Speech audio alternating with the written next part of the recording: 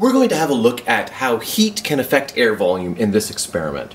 I've placed a candle inside a dish of water. I've put some green food coloring in the water, but that's not really relevant to the experiment. It'll just help you see the results after the fact.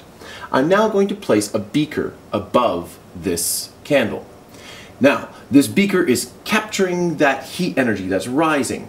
The, uh, it's warming up all the particles that are inside there. So that heat is now increasing in temperature.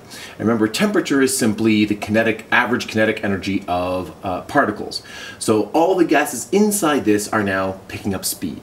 They're, as they get faster, they hit each other harder. As they hit each other harder, they bounce off each other and spread further apart. So the volume of the air inside here is increasing. So much so that it's actually overflowing with air. Now we can't see it, but hot air would be streaming out the sides because this, as particles get further and further apart, they take up more space. So the air inside here is actually taking up a whole lot more uh, space in the air around it. The volume has increased because the temperature has increased. This is sort of the same principle as a hot air balloon. Uh, the hot air is less dense, it's further apart, and will cause a balloon to rise.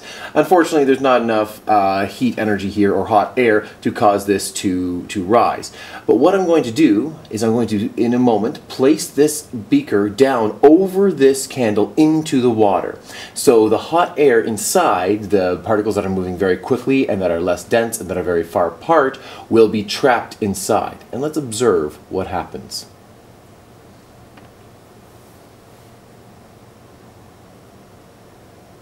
So now, I place the beaker over, the candle went out, and the water inside the beaker rose.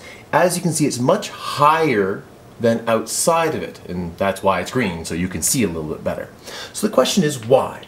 Most people automatically think that the candle has used up all the oxygen in there, so therefore that's the volume of the oxygen that got sucked in. And that's not quite right. we don't have that much oxygen in our atmosphere, thankfully, or if we did, everything would be on fire all the time.